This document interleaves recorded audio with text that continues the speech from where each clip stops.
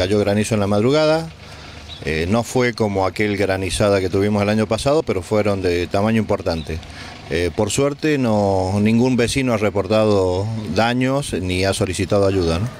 ¿Ustedes hicieron un relevamiento desde horas tempranas? Sí, se hicieron recorridas por los diferentes barrios, eh, se veía normal, no, no ha habido caída de gajos ni nada tampoco. Este, así que bueno, por suerte estamos, estamos tranquilos. Lo más importante fue la granizada, digamos, porque no hubo grandes vientos y tampoco importantes lluvias. Exacto, pero bueno, la poquita agua que cayó nos complica en nuestra campaña de escacharrizado. Eh, como bien sabés, el, el, acceso es complicado y bueno, eh, por ese motivo hoy no, no se encuentran trabajando los camiones.